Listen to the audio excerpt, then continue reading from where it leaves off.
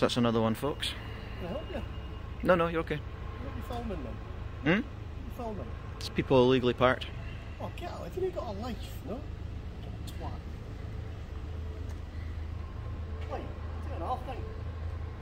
Don't film me either. Alright, Why is that?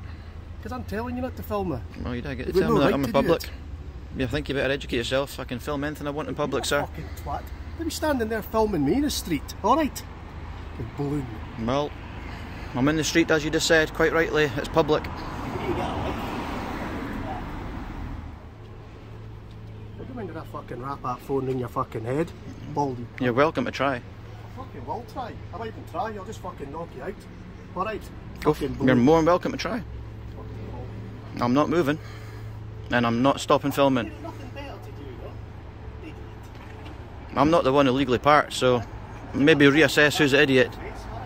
Yeah. You've just made yourself look like a tool in front of thousands of people. The. I can't hear you, sorry. What was that? The.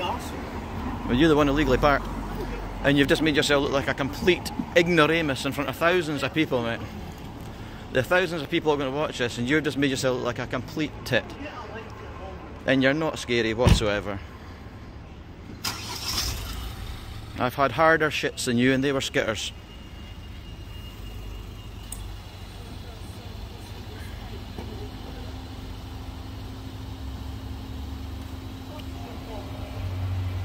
I don't have a problem.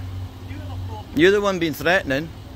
And as I was just saying, it's not much of a threat because, to be honest, I've had harder shits than you, and they were skitters. Oh, I bet you have it. Where did you get some decent clothes, pal? You're an absolute tramp.